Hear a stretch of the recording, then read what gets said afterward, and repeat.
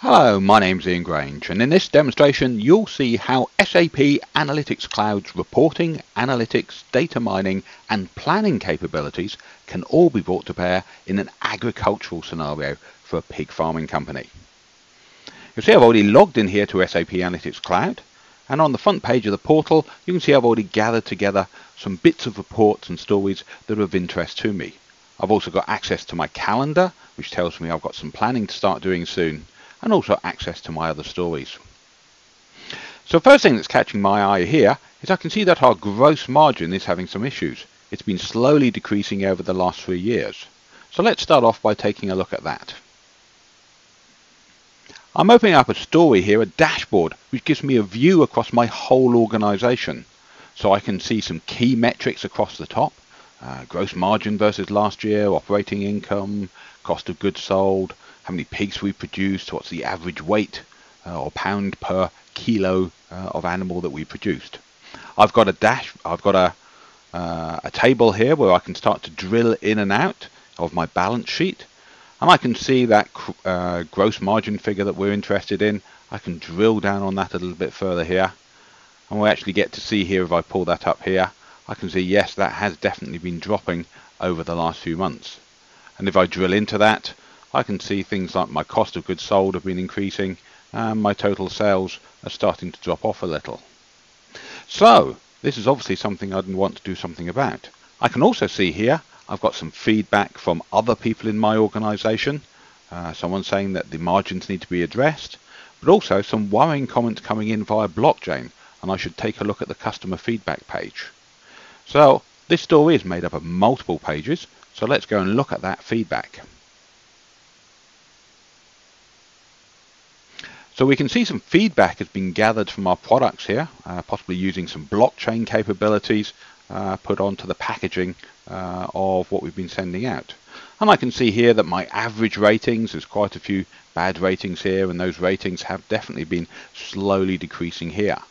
We've got a word cloud here picking out some of the highlights in terms of comments that we've had from our customers, and we've got some more detail down the side here.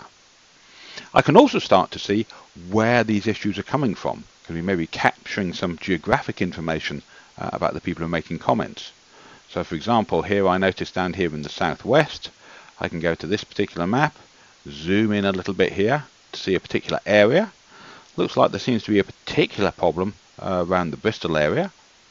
I could, if I wanted to, use just those points as a filter on the report that I'm looking at so I can filter everything else. I'm looking here and I can see that yes, I'm definitely just getting bad comments coming from this particular area, or mostly bad comments. This is obviously something I'd want to do something about. Now, one of the things about Analytics Cloud is it's a, an environment where people can um, collaborate together. So I could start up a new discussion here with some of my team members to go and take a look at this. So let's create a new discussion here. I can go and find someone. Let's go and search for my colleague Dan.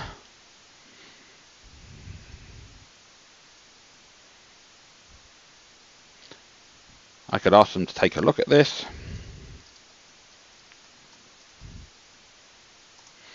And I could also supply a link to the report that I'm talking about so they know what to go and take a look at. So we can immediately collaborate here over content, here I'm doing it as a story, but as you can see, I can also add comments to data points inside the story.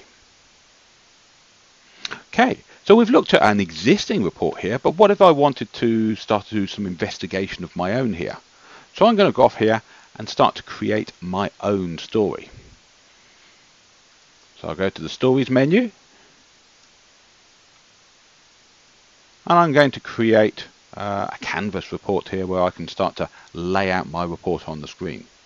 I'll just turn off the discussions. First thing I want to do is add some data here. So I can go and search here through my uh, data that's available to me. I know I've got a data set somewhere.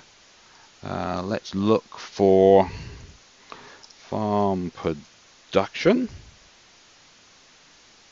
And I've got some farm production data here for the pig and fish group. So this is a data set that's already been prepared for me. You can see I've got a number of measures I can start to look up in the corner here. Obviously the one that I'm particularly interested in from looking at my dashboard earlier is the net margin. But we've got a number of other dimensions here we can look at. If I turn them all on, I can see things as a time dimension here, for example. Uh, so I could say, okay, I want to see time as part of this chart. I can see how this has changed through time. I could also get other dimensions like what diets we were giving our animals, uh, whether they ever got ill, whether they got scours, how much straw and bedding they had, ventilation, water, etc. So there are a number of things here that could affect uh, how profitable uh, each of these animals are. So I could grab one of these if I wanted to use it, so maybe the finisher diet here. I can see that go through time. It's automatically picking what it thinks is the best way to display this information, but if I want I could change it to something else, maybe a, stacked bar column here, and let's just take a look at that uh, going through time. So I can start to create my own charts, and I could take what I've created here, copy it uh, back into the story that I was looking at there, Now, of course, I could just stay in that slicing and dicing environment and try to work out, well, what is it that's having the biggest impact on net margin? And I could try and drag in each of those dimensions to work it out. But why, why do I do that now when I can get the system to help me? So there's a couple of things I can do here. I could either add a smart insight to the report that I'm looking at here, and this will load some insights onto the chart that I'm looking at at the moment, or the chart I've just created. It's telling me which of my quarters have the highest net margin uh, and uh, what has the biggest impact on that number. But of course what I'd really like is for the system to have a look at all of the data and come back and tell me what's going on. So what I'm going to run here is a smart discovery and say I'd like to understand what is driving, what the impactors are on net margin. I'd like to do that across the IDs of all of our animals. I can also choose, you know, do I want all of these columns to be included in this analysis? So for example here, there's not much point in analysing slaughter weight as that's something that happens afterwards. What I'm interested in is what impacts uh, before. So I can now run this. So what the system is doing now is it's going and looking at all of those dimensions of data. It's using data mining techniques to go through, analyze that data, and it will tell me and build me a story to help me discover what it is that's having the biggest impact on net margin.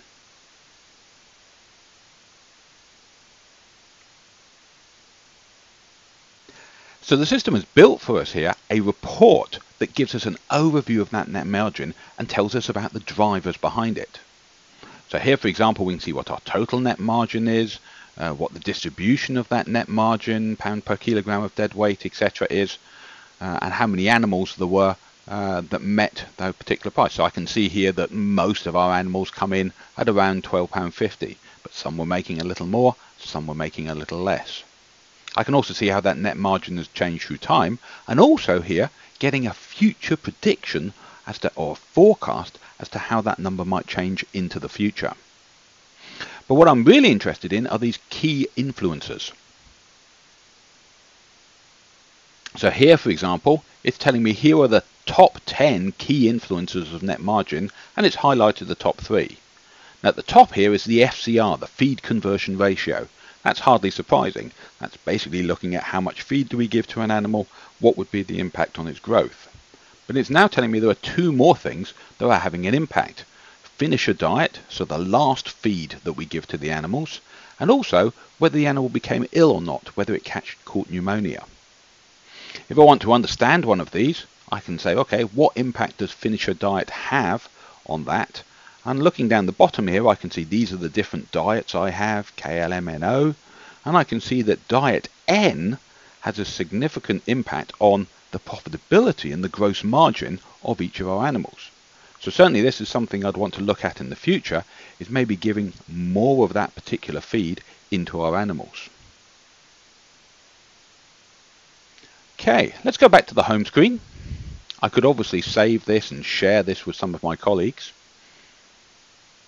Now on the front screen here, I can also see um, some information about the capacity across our farms and where those uh, capacity where we might have some more space. Obviously, I want to make sure I make the biggest use of the uh, space that I have.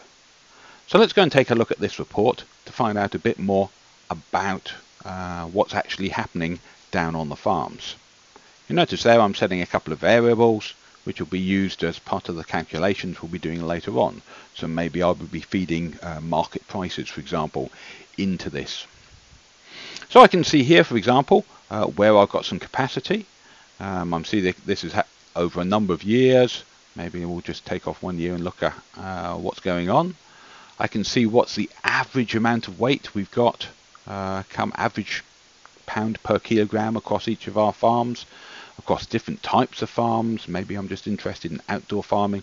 And again, I can filter that there. Again, you also see I'm getting a prediction into the future as to what we think that average pound per kilogram per week might be going into the future.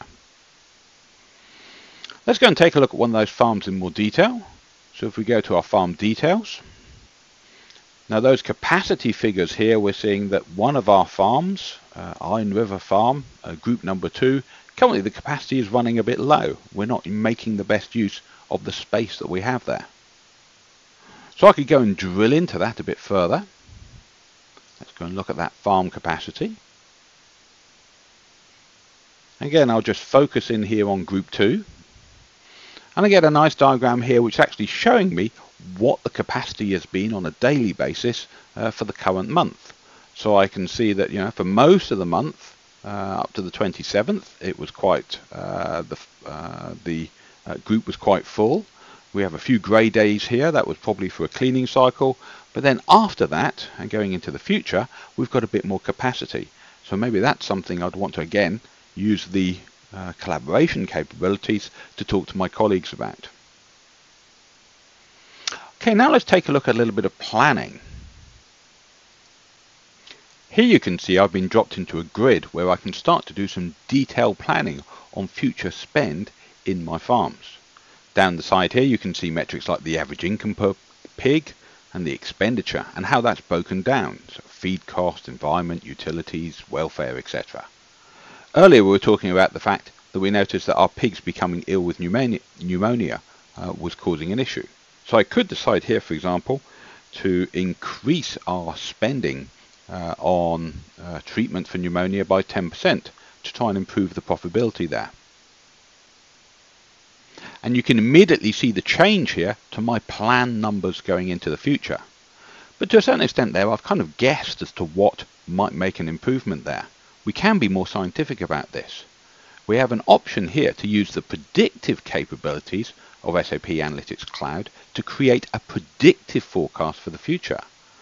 So I can say, use my actual data for the last couple of years, you know, which is good, useful data, and use that to produce a predictive plan for my electricity costs for the next few months.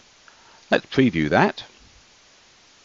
So that will build a predictive forecast based on what's been happening in the past.